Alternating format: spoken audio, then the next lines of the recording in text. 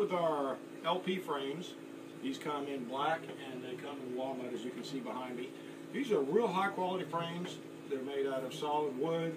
The joining is real nice. These are not cheap plastic frames. They're heavy duty deluxe frames. The glass provides 45% UV protection for your jacket so they don't fade while they're on display.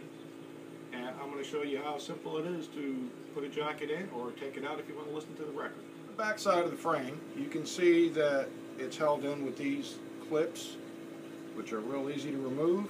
Um, you can see the solid wood construction, and all you do is lift these up, like so.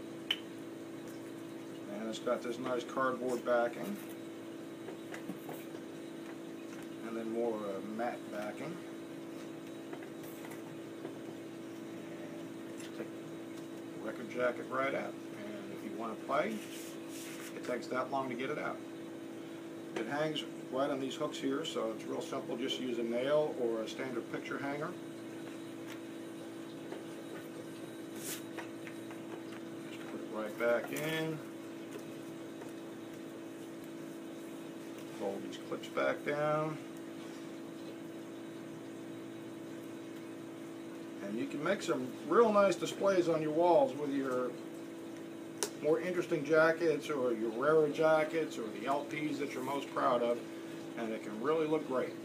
Thanks a lot.